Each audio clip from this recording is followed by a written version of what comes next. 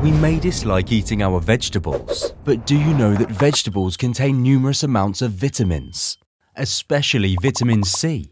Not only is it present in fruits and vegetables, but also in meat that we eat. Most mammals can produce vitamin C on their own, but we humans can't.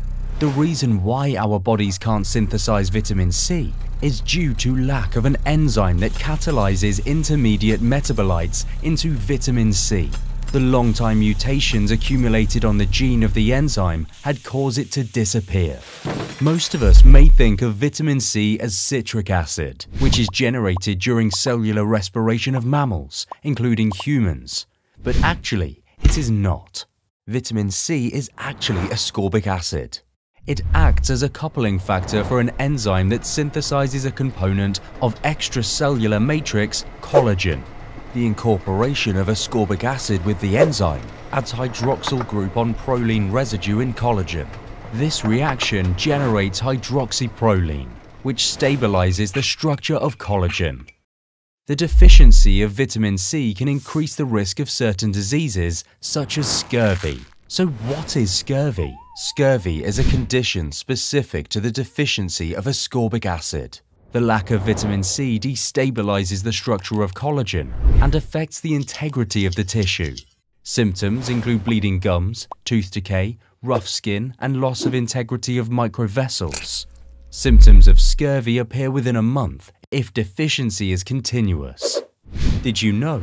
One of the reasons that killed the pirates of the 18th century were not bullets, but scurvy. Yes, you heard that right. Pirates could not rely on the food pyramid chart to inform them about their required fruits and vegetables. And as a result, they were plagued with scurvy. Pirates had bleeding gums, their teeth fell out, bones atrophied. It was a slow death, say historians.